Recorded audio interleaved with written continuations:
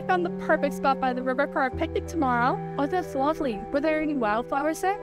Yes, the whole field was in bloom already. Oh, I can't wait. It's going to be such a lovely day.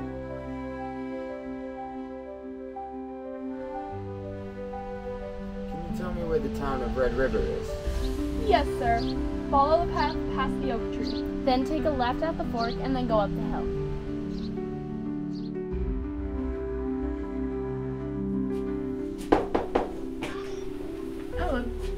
Excuse me, miss. I'm Theodore Crane from Washington, D.C. I'm here to investigate some strange reports. Why, of course, Mr. Crane. Welcome to our town. May I suggest checking in with Mayor Hargrove over there? Why not have a glass of water? It's a hot day.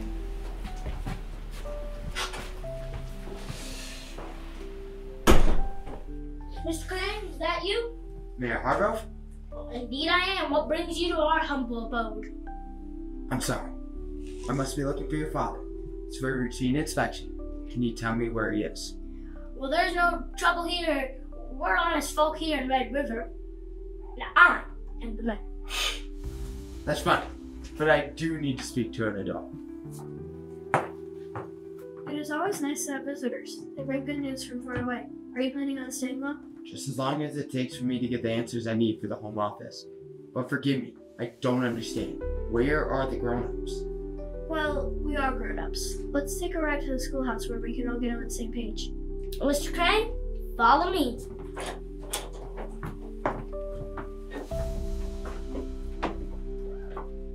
Have you heard about this Mr. Crane guy? Yes, I've heard about him. What are we gonna do about this? I don't know. Good afternoon, Mr. Crane. It's a beautiful day today. You couldn't have picked a better one to visit Red River. Most of the town is already at the schoolhouse, Dot. They're all excited about the new arrival. Hope you haven't had any negative side effects, Mr. Crane. I'm not sure what you mean, mister. Doctor, Dr. Caldwell. I'm surprised you haven't noticed how your clothes don't fit despite being a government investigator. Keep calm and let me explain.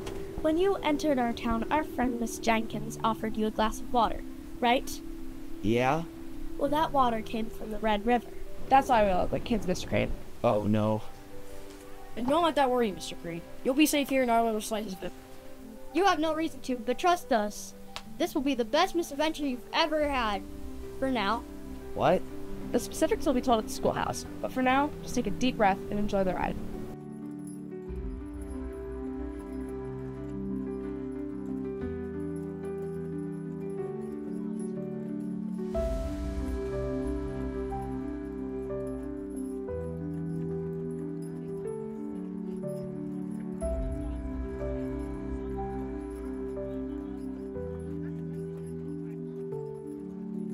Welcome to the little school on the prairie, Mr. Crane.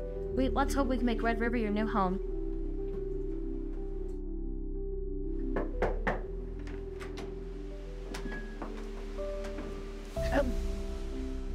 My name is Laura, and I'm the lead nurse at the hospital.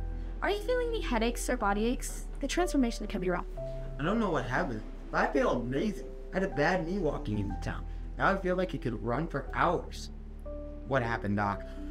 We have a secret about the Red River, Mr. Crane. The river itself is makes the mineral staff, though, a wonderful side effect of healing and de-aging. All of us basically look like we're in our teens. It kind of depends on how old you are when you start drinking the water. Most of us are well into our 60s. That's a little unbelievable, Doc. It may seem like something from fiction, but you seem like an observant fellow, Mr. Crane. You can see for yourself. If you like to follow the rest of us into the schoolhouse, you'll get the whole picture. So how long have you been here keeping this a secret? This town was founded 100 years ago. On occasion, we do have visitors, but rarely do they ever go back to where they came from. And don't let that worry you, It's by choice. Same, same choice you are being given today. And what choice is that? Mr. Crane, you have a once in a lifetime opportunity to stay here and live a very long life. Or you can go home and forget this place exists. I doubt I'll ever forget it, no matter what I do. I have two pills for you, Mr. Crane. One will make your physical transformation permanent, and the other will make you forget you were ever here. We have a secret worth keeping, Mr. Crane. If word got out there was a fountain of youth, it would become a tourist attraction. Or worse, fountain kills over.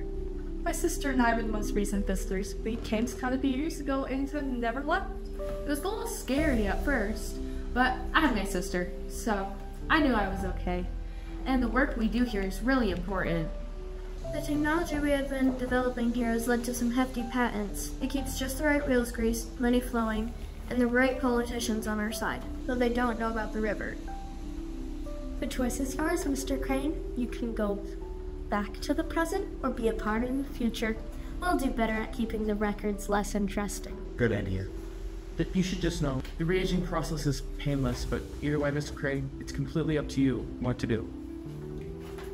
The water I gave you when you first arrived only contained an initial of Miss Reynolds' serum, which is what caused your de-aging. Without the pill, it'll simply reverse over the next few days. Or, Mr. Crane, the choice is yours. Go home and make your move. What will it be?